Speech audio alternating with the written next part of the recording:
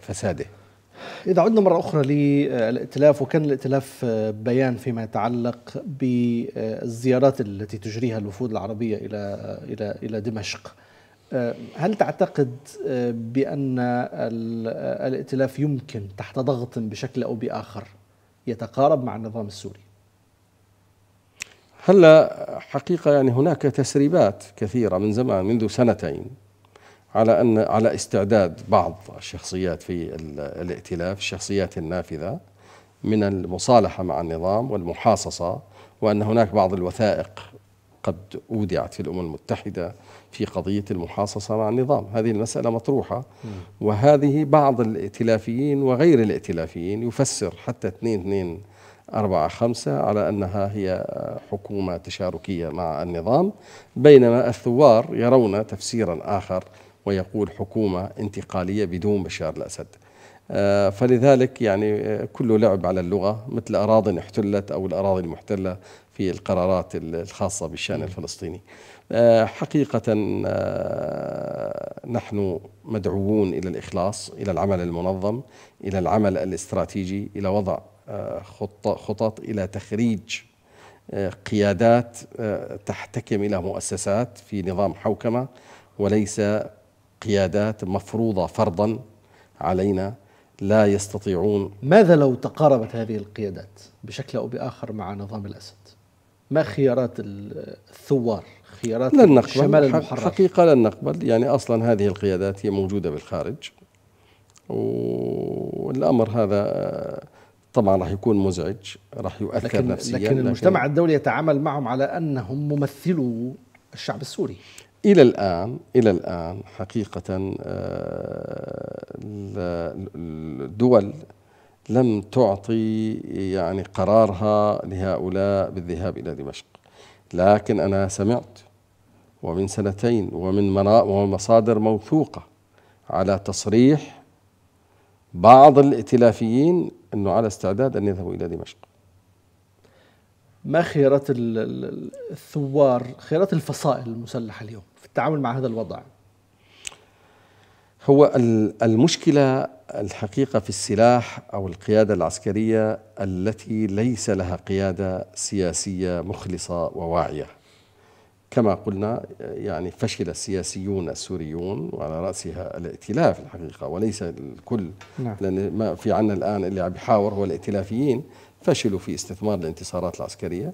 صار في تمزق بالفصائل العسكرية. وزارة الدفاع خلبية ليس لها في الواقع. يعني مثلا وزير الدفاع ما ما بيمون ولا يستطيع أن يأمر قائد كتيبة حتى أبدا. ولا عسكري لا يستطيع. وهو يعرف ذلك.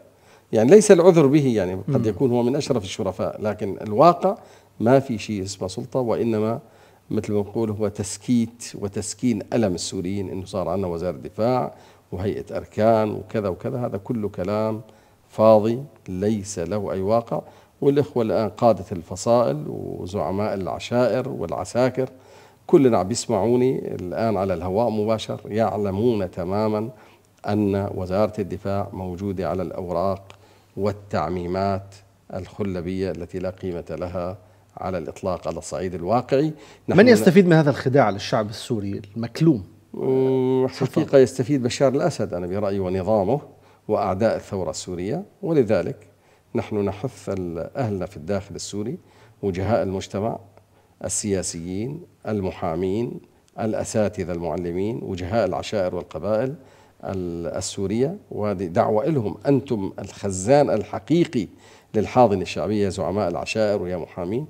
اضغطوا شعبيا بالمسيرات بالحوارات مع قادة الفصائل. يا أخي الذي يصلح بنحط على الراس والعين لا يصلح يقدم استقالة. خاطبوا أبنائكم أخي يتمردوا يعملوا قيادة جديدة موحدة للمحرر. نتساعد في عمل صندوق وطني سوري مالي للتمويل. لأجل استقلالية القرار السياسي والعسكري. كفانا بيعا بالأوقات كفى أهلنا نوما في الخيم تحت البرد والحر كفى آه، استثمارا بالثورة. أقول أنا الفاسدين في الثورة المستثمرين الذين أثروا. إن كنت تقول والله نحن بدلنا شهداء ونحن كذا بقول لك أعطيني كشف الحساب اللي عندك في البنك. ما هو الكل طبعا البعض لا شك. أعطينا الكشف فأنت أخذت ثمن قتالك وثمن نضالك أضعاف مضاعفة فأصبحت أنت لست ثوري وإنما مستثمر بالثورة. السياسي السوري الذي تماهى مع النظام أو تماهى مع روسيا أو تماهى مع آه، من يطالب بتمييع الثورة السورية الذي السياسي الذي لم يثبت على ثوابت الثورة السورية العسكري الذي لم يثبت الحقيقة أنك قد بددت آمال الكثير من السوريين وخاصة بسطاء السوريين وأنت استثمرت في هذا آه، على الأمر على الصعيد المعنوي على الصعيد المالي الاقتصادي إلى غير ذلك. أنت استثمرت كفاكم استحوا على أنفسكم بقى استقيلوا اجلسوا في بيوتكم اعتذروا بدي الشرفاء يعني في القيادة السياسية السورية الثورية المحسوبة على الثورة خلينا نقول وفي القيادة العسكرية. يعني اعملوا خيو مثل سوار الذهب كان رئيس دولة أنتم أقل من رئيس دولة ب 100 كيلومتر ب 1000 كيلومتر. استقيلوا عندما الرجل شعر أنه لا يستطيع أن يخدم أمته السودانية أو شعبه السوداني استقال.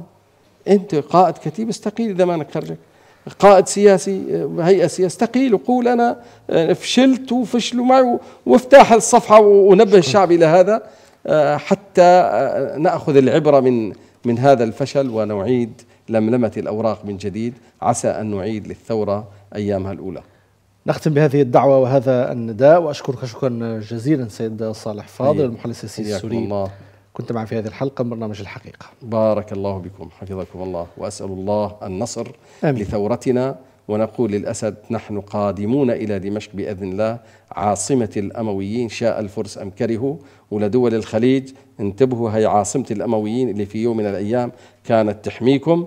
أعيدوا ألقها مرة ثانية. والله إن هؤلاء الإيرانيين هدفهم مكة هدفهم الكعبة وهدفهم دبي وأبو ظبي والدوحة والكويت إياكم ثم ألف إياكم. شكرا جزيلا لك سيد صالح فاضل. كنت معي في هذه الحلقة من برنامج الحقيقة المحلل السياسي السوري. الشكر موصول لكم مشاهدينا الكرام على حسن وطيب المتابعة وحتى نلتقي في أمان الله.